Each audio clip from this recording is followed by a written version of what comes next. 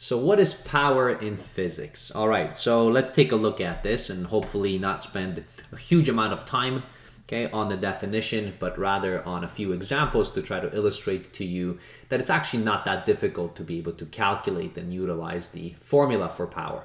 So power in general is basically a scalar quantity. So it's not a vector, okay, it's a scalar.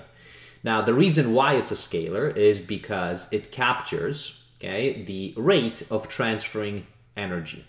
Now the word rate you have seen, okay, over time, probably in math, and anytime we hear the word rate, it is some kind of a change.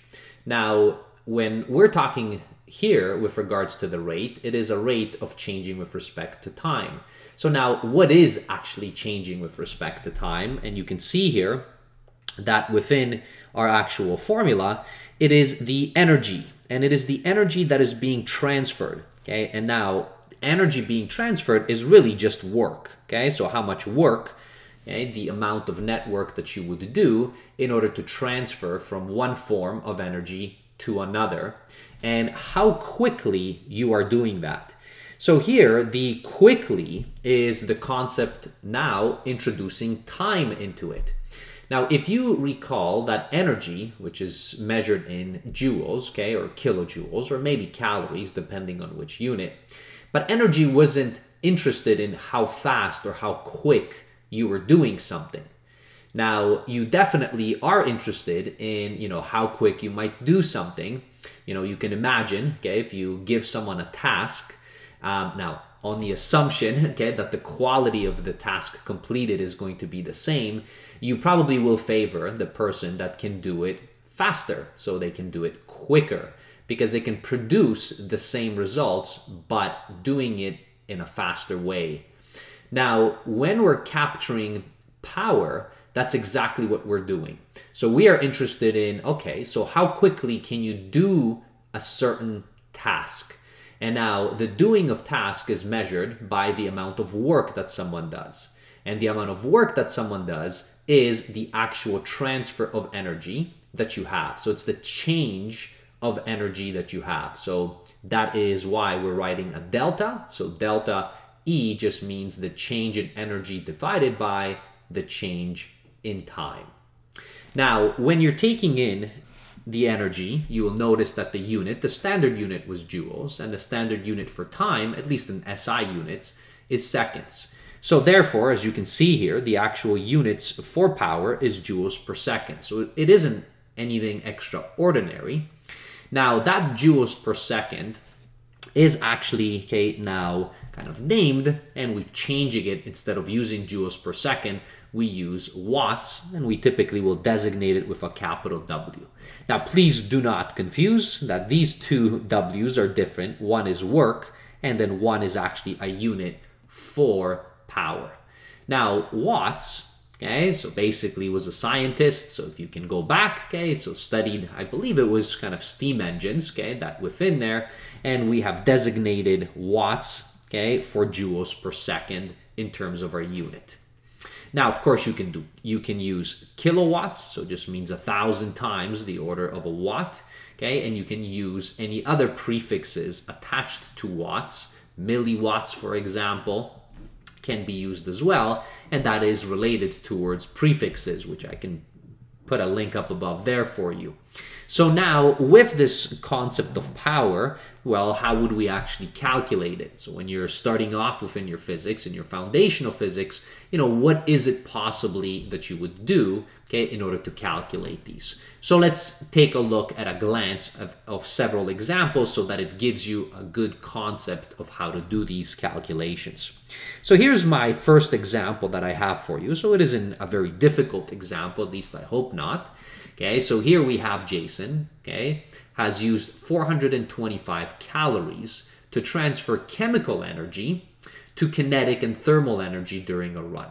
So this is the concept and idea of changing of energy, right? So it is the change of energy. So you have, okay, some chemical energy as a runner that you're basically transforming that you can now use it for kinetic and unfortunately thermal energy as well because your temperature, you, you will feel that you're getting a little bit hotter.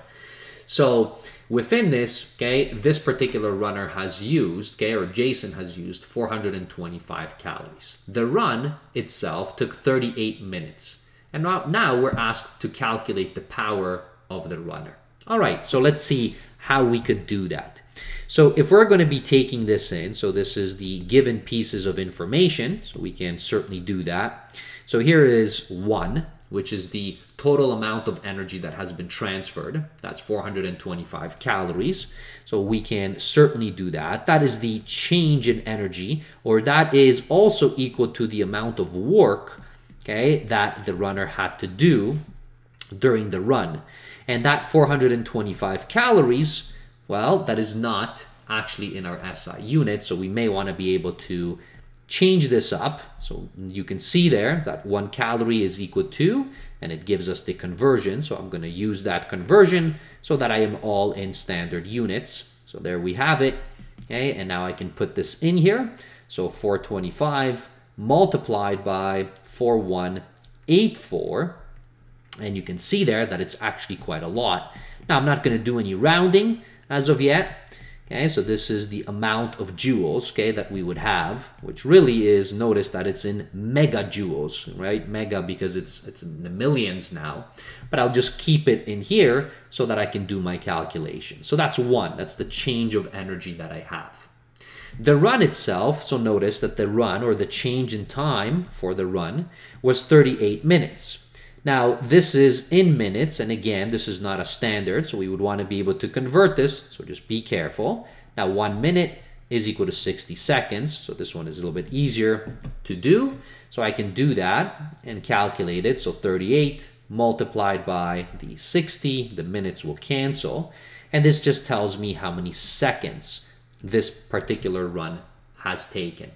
And now from here, so if you want to be able to calculate, so let me just move this out of the way. If you want to be able to calculate the power, so the power is equal to the change of energy or the work that has been done over the change in time, well, I can substitute all of this in here. So that's my energy change. Here is my change in my time. I'll notice it's joules per second. So now I can take out my calculator back and I can put it all in here in terms of the calculation. So that is the division, so 2280, and there you have it. So that is going to be approximately, I'm just kind of scanning back in, and let's keep two significant figures here, and it would be about 780 watts. So 780 watts, which is 780 joules per second. And what does that mean? That means that every single second, right, the runner is utilizing 780 joules during that particular run. So every second that passes by, the runner is going to be using that much, okay, um, or doing that much work or transferring that much, that much energy. So that's the calculation. Now, this one, if it wasn't so much for the unit conversions, would have been rather simple. But I like the unit conversions because it forces you to kind of think, okay, to put things back into standard units. So do not forget SI, standard units. So change energy always to joules and then change your time always to seconds. And then you can get your watts back. So that's one. Here's another example that I have for you. So a person with a mass of 76 kilograms has climbed a set of stairs in 10 seconds. All right, so let's write all of this in here. So let's put in the given. So here we have, so our mass, that's one. Here we have the time that it took this person. And the flight of stairs had a height, okay, of 10.5 meters. Now this 10.5 meters, because it doesn't say anything, of course, your flight of stairs, if you can imagine, so that's going to be you know, something, okay, along this line. And then you're going to have your, you know, your stairs climbing up. So, you know, here's one, you know, here's another one, okay, and then this obviously continues. Now, when they're saying, okay, this is 10.5, I'm going to assume that this is my height, okay, so it's the vertical height that I have in there for the actual stairs, and that is 10.5 meters. So just always be careful and see what are they referring to right? So hopefully it's not the actual kind of hypotenuse there, okay? Because then you would have to get a triangle and then find out what that 10.5 meters would be. You know, maybe you would need an angle there. But this is the height itself, right? So that you're going. Now, this person's mass is 76 kilograms. So that's great. That's in standard units. Okay, the actual time that this took. So the delta T was 10 seconds. So that's what we have for that. So the change in time. But now, unfortunately, we do not have the amount of work that was done or the transfer of energy. Now, so within here, so what we will be doing, okay, in general, if we don't have any further information, then we typically will calculate the amount of work that would be needed, okay, or the amount of energy that this person would have if they did climb. And that would have been relating it back to gravitational potential energy. So if you remember, you know, anytime you lift an object, it doesn't have to be a person, but any object, you can go back and you can calculate the gravitational potential energy. You can put up a link up above there, okay, to that. And so therefore, what I will do is I'm going to calculate my gravitational potential energy, which is nothing else but mass multiplied by the gravity itself, so the acceleration due to gravity, and then the height. So this right here is not very difficult because I do have all of this information, and g is always 9.8, okay? Or whatever your teachers might use. Sometimes they might use 9.81. Hey, there is actually quite a few decimal places, but I typically use 9.8, and that's fine.